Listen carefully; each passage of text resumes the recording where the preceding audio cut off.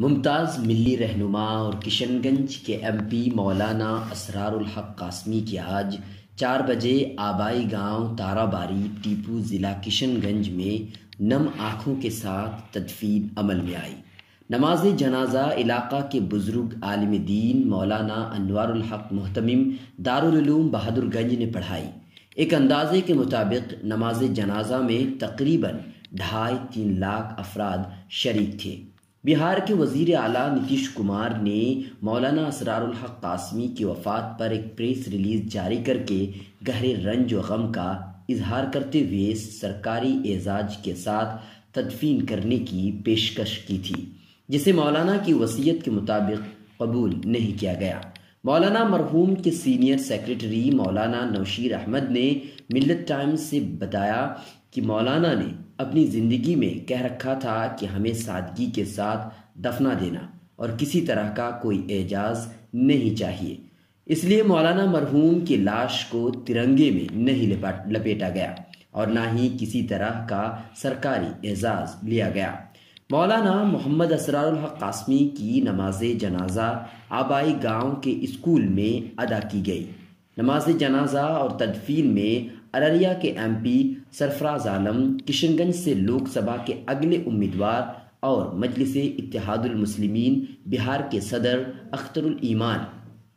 M L A Shakeel Khan Ghulam Rabbani Imarat Sharia کے نائب ناظم مولانا شبلی القاسمی، سینئر صحافی ڈاکٹر عبدالقاش قادر شمس سمیت متعدد سیاسی و سماجی شخصیات نے شرکت کی۔ واضح رہے کہ آج سات دسمبر کو صبح ساڑھے تین بجے ہارٹ اٹیک کی وجہ سے اچانک چھہتر سال کی عمر میں مولانا اسرار الحق قاسمی کی وفات ہو گئی تھی۔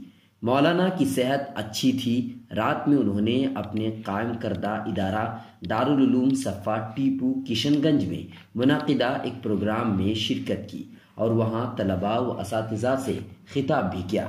تقریباً ایک بجے رات تک مولانا جلسے میں تھے۔ اس کے بعد ساڑھے تین بجے دل کا دورہ پڑا اور موت ہو گئی۔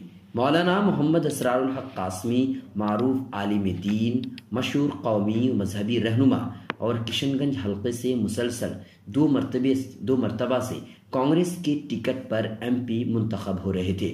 آپ نے دو ہزار نو اور دو ہزار چودہ میں مسلسل دو مرتبہ جیت کر پارلیمنٹ میں نمائندگی کر رہے تھے۔ دارالعلوم دیوبند کی مجلس شورا کے آپ رکن تھے۔ All India Muslim personal law board کے رکن تاسیسی اور آل انڈیا ملی کونسل کے نائب صدر بھی تھے۔ دسیوں اداروں سے آپ کی وابستگی تھی۔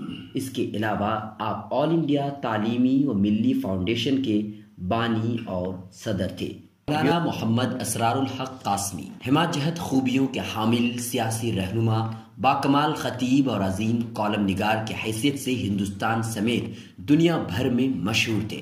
مولانا محمد اسرار الحق قاسمی کی وفات پر امیر شریعت، Maulana Muhammad Wali Rahmani all India Milli council کے general secretary doctor Muhammad Manzoor Alam, Maulana Badruddin Ajmal, صدر یو ڈی ایف و ممبر آف پارلیمنٹ، مولانا مفتی ابوالقاسم نعمانی، محتمم دارالعلوم دیوبند، کانگریس صدر راہل گاندھی، مولانا سید ارشد مدنی، صدر جمعیت علماء ہند مجلس اتحاد المسلمین بہار کے صدر اور لوک سبھا کے اگلے امیدوار اختر الایمان، مولانا زبیر احمد قاسمی، محتمم جامعہ عربیہ، اشرف العلوم، کنوا، سیتامڑھی، بہار عامر سبحانی داخلہ سیکرٹری بہار، مولانا مفتی محفوظ الرحمن، عثمانی، بانی و محتمم جامعۃ القاسم دارالعلوم، الاسلامیہ، سپول، بہار، مولانا Khalid Saifullah Rahmani, general secretary, Islamic Fiqh academy, India, Sarfaraz Alam, M P Araria,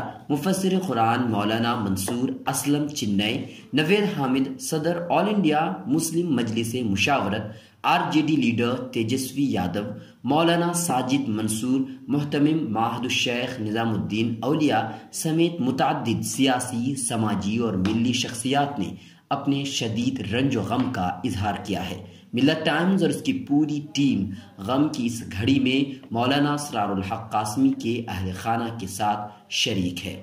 Bureau report, Millat times. Millat times کی مزید ویڈیوز دیکھنے کے لیے یہاں کلک کر کے سبسکرائب کریں اور بلائکن کو ضرور دبائیں تاکہ آپ کو ہماری ہر ویڈیو کا نوٹیفیکیشن مل سکے۔